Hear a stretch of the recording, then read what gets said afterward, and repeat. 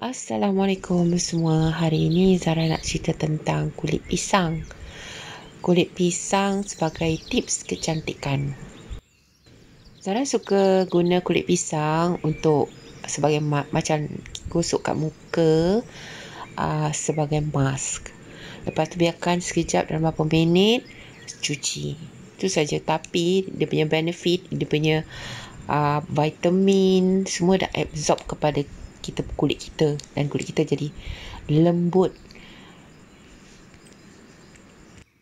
Segar. Dan lebih cerah lagi. Kau tak cari try. Tapi kena konsisten kena buat selalu kena buat hari-hari. Macam contoh dekat dalam gambar ni. Uh, ada banyak uh, bekas-bekas jerawat kan? Uh, nanti pelan-pelan dia gosok je dekat bekas-bekas jerawat tu. Pelan-pelan dia akan hilang tak cari try.